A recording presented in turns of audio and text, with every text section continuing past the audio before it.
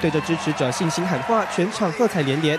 在科罗拉多州的这个举动，恐怕让川普和他的支持者都笑不出来。This is a pretty historic night. Um, the Colorado State Supreme Court just ruled in a 4-3 opinion that. Uh, Donald Trump is not eligible to run for president. 美国科罗拉多州最高法院十九号以宪法第十四修正案第三条的叛乱禁令为由，将川普列入不合格总统候选人名单，禁止他的大名出现在初选选票上。所谓的叛乱禁令适用于禁止参与暴动或叛乱的官员在担任公职。事实上，美国法院很少动用这条宪法条款，但科州最高法院认定，川普涉嫌煽动支持者在二零二一年一月大闹美国国会大厦。下让川普成为美国史上因相关条款被禁止参选总统的第一人。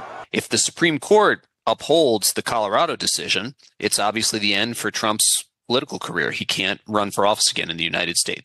这项裁定将保留至明年一月四号才会生效，截止适用于科州三月五号的共和党初选期间，川普有权要求复审。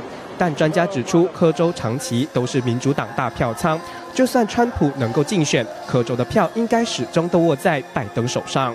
川普的竞选团队十九号也迅速公开回应，表示这项判决有缺陷又不民主，强调会提出上诉。经新闻王家正汪。